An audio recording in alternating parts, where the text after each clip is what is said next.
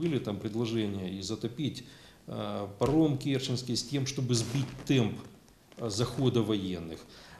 Были какие-то возможности, там, не знаю, выставить БТРы на полосы, на взлетные полосы, но они перебрасывали вертолетом и военнослужащих. То есть можно было сбить темп.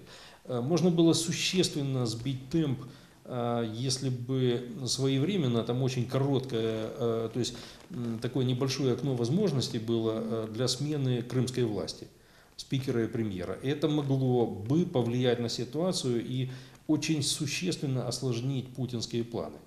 Но сказать, что можно было оказать вооруженное сопротивление, я вам могу сказать, что власти тогда в стране не было. Ее просто юридически не существовало, потому что правительство Украины образовалось э, вечером 27-го, а э, в 4 утра 27-го уже произошел захват Совмина и Верховного, э, Верховной Рады Крыма зданий.